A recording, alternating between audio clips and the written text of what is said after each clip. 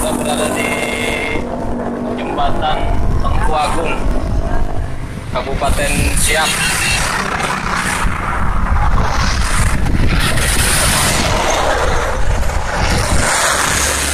Mas Suntok,